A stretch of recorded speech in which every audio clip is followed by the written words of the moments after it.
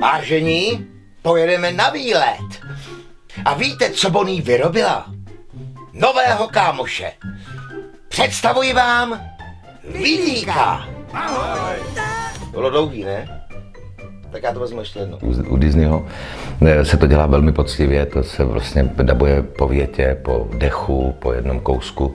Když to, když děláme film pro dospělí, tak ten se vlastně točí eh, v celku nebo v kusech, v větších kusech, takže je to vlastně trošku jednodušší, ale pro ty děti to děláme poctivě. Rychle, najdeme ho. Bonnie ho má ráda. Tak já jsem začínal už ve čtyřech letech, takže já už s tím dubbingem mám velké zkušenosti.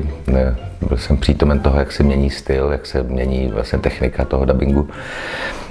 Dubbing je strašně krásná práce, kterou eh, mám rád hlavně kvůli tomu, že se podívá člověk do kuchyně těm hercům nebo těm tvůrcům. Vážení, pojedeme na výlet.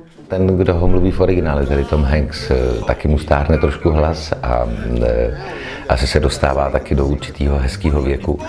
Takže eh, zároveň s jeho hlasem samozřejmě postava se trošku mění, ale to kouzlo dětského vlastně světa tam zůstává furt, takže dá se říct, že pro děti by to mělo být neznatelný.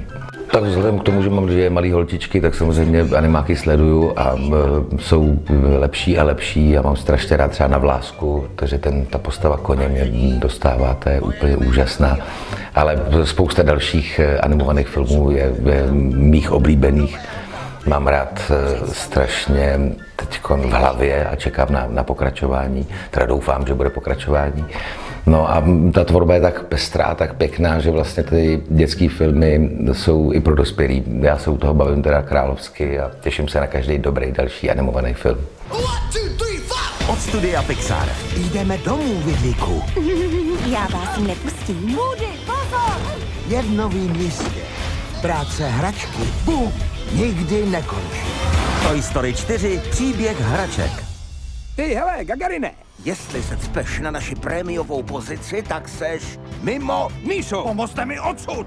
tak jo, vykopnu tě odsud, do nekonečna tě vykopám, bum! Ve vzduchoprázdnu vesmíru není slyšet křik! O, co to?